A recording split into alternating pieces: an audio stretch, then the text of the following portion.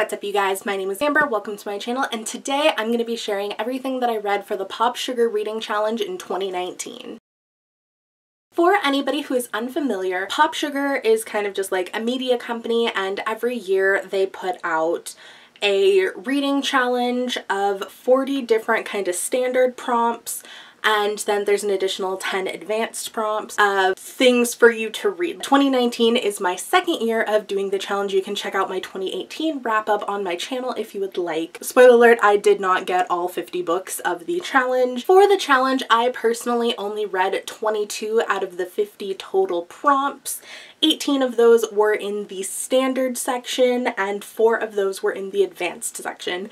I am not one of those people who like waits to do all of the standard ones first and then hits the advanced. I just go for like whatever matches books that I already have that I want to read. And then sometimes I will like branch out to match a specific criteria. That was a real weird match uh, to match a specific prompt criteria.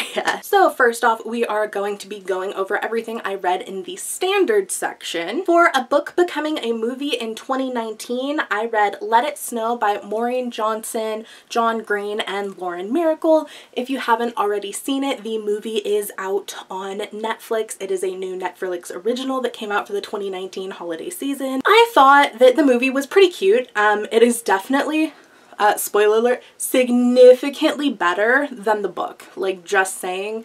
Um, I do have a review out for the book that uh, will probably be on my channel sometime after this video, so keep an eye out for that if you are interested.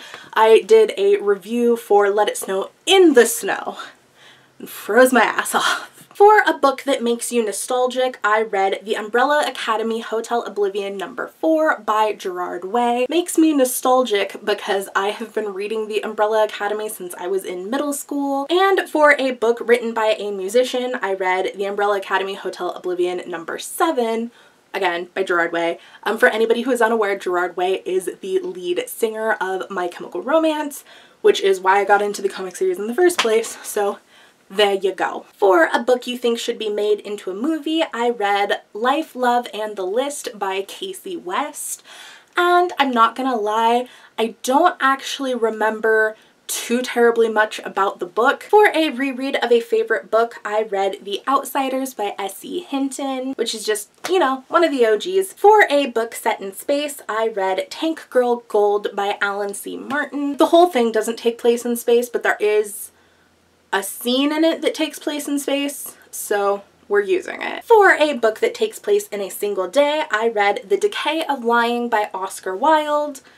Apparently it took place in a single day. I'm not gonna lie, I remember none of it. For a debut novel, I read For the Record by Charlotte Huang, and uh, that one, I do remember that one. I actually quite liked it. There is a review for it out on my channel if you would like to check it out. For a book that's published in 2019, I read the re-release of Control Freakz by Michael Evans.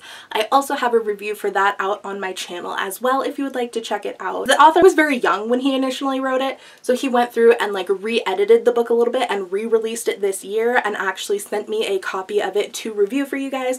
So that is out as well, as well well as the rest of the Control Freak series will be on my channel eventually. For a book featuring an extinct or imaginary creature, I read Dragon's Oath by PC and Kristen Cast.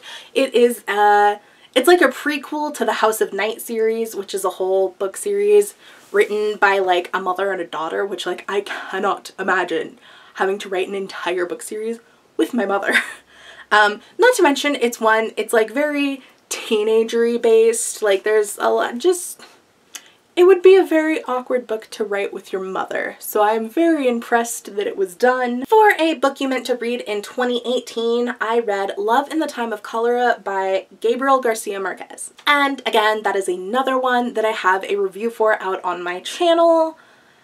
Let's just say, uh, not the best feelings towards that book. We'll leave it at that. Go ahead and watch the review if you want to know why. For a book about somebody with a superpower, I read Secret Vampire by L.J. Smith, which is part of the Night World series, which I read all of, or at least all of the ones that are like out so far. For a book told from multiple character point of views, I read World War Tank Girl by Alan C. Martin. For a book about a family, I read The Earth, My Butt, and Other Big Round Things by Carolyn Mackler, which I do partially remember. I remember some of it. It is not solely based around a family, but there are a lot of family elements in it, so that's why I used it for that prompt.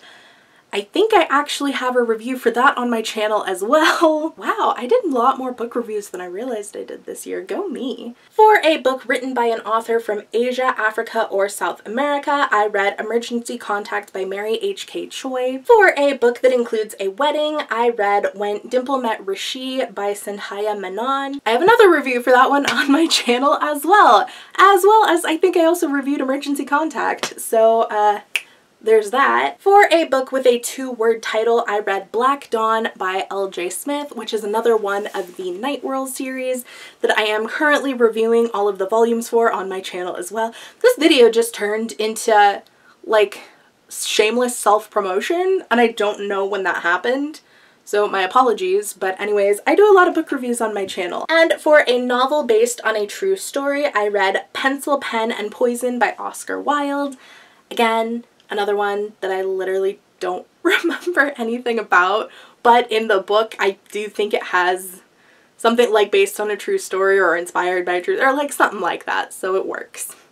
Now we are on to the advanced prompts, which I only read four, so bear with me, we're almost done. They instruct you to read a book during the season it is set in. I read Moxie by Jennifer Mathieu. Again, there's a review on my channel. I do remember this book because I really, really liked this book.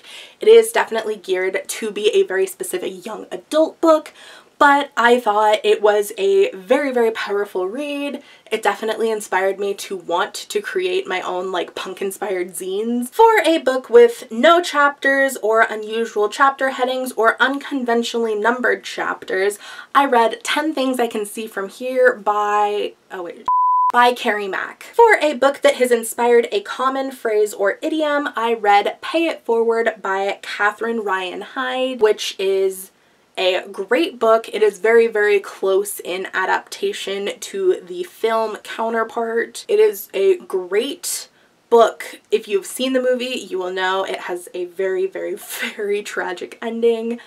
And uh, fair warning, I think that the book's ending is arguably equally, if not even sadder, so be prepared for that. It is definitely one that you might cry at towards the end, but a great book nonetheless. And last but not least, for a book set in an abbey, cloister, monastery, vicarage, or convent, I apologize if I butchered any of those pronunciations.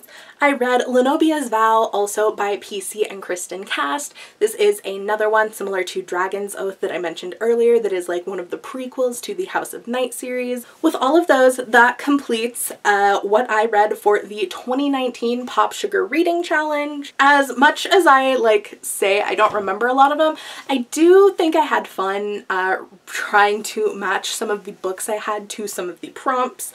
I will have to say, same as the 2018 challenge, some of those prompts are definitely a little bit of a stretch, but uh, the whole point of the challenge is to just read more and to expand your reading horizons. So as long as you're doing that, like, who cares if you're doing it on the T? If you have any interest in any of the book reviews that I mentioned, editing me is going to hate filming me for saying this, but I will go ahead and link those down below if you're interested in watching any of them. If you would like to see a full comprehensive list of everything that I read in 2019 as part of the challenge or not, I will also be posting a 2019 reading wrap up in general on my channel, probably in a week or two from when I post this if you're interested in checking that out. And go ahead and give a subscribe to my channel as I will be doing a giveaway once we hit 100 subscribers and I I am trying to do that as soon as possible so I can continue producing a lot more content for you guys. Thank you guys so, so much for watching. I had a blast hanging out with y'all. Peace.